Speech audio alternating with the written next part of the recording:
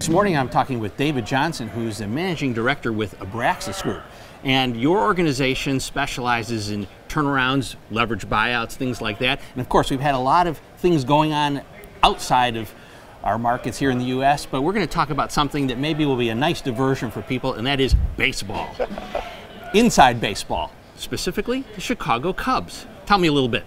Absolutely. The Chicago Cubs are an interesting story in that the new ownership of the organization has done everything you would want in terms of turning around a failing organization. They've reset expectations, they have introduced a culture of winning, they're laying the groundwork for continued success. It's really kind of a textbook turnaround, and you don't see that in the sports world too often. And now we're not just talking about the actual baseball operations, the team on the field, but you're talking about the business side of the business. That's right. I know that for Chicago fans, especially Cubs fans who are long suffering, there's yes, there's an urge to get back to the baseball. But what struck me, struck me is that the Ricketts organization is really putting in place the necessary steps to reset the organization to succeed for the long term. And we're, there's a lot of other aspects to this. So, you know, there's uh, the actual business operations, such as uh, management of the organization, but they're involved in real estate, in advertising, all sorts of aspects. So, why don't you drill down a little bit?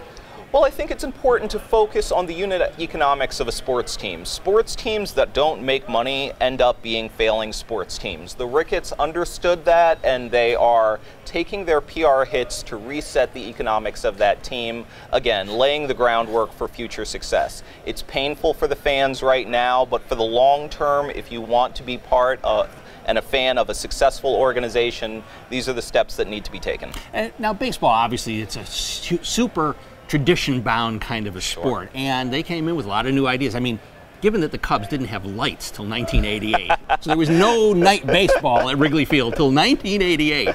That was obviously a problem, something they really had to drill through and, and get through all those sort of traditional traditionalists. Let's use that word. I mean, that's, that's exactly what it is. So, how did they uh, approach that? How did they deal with that?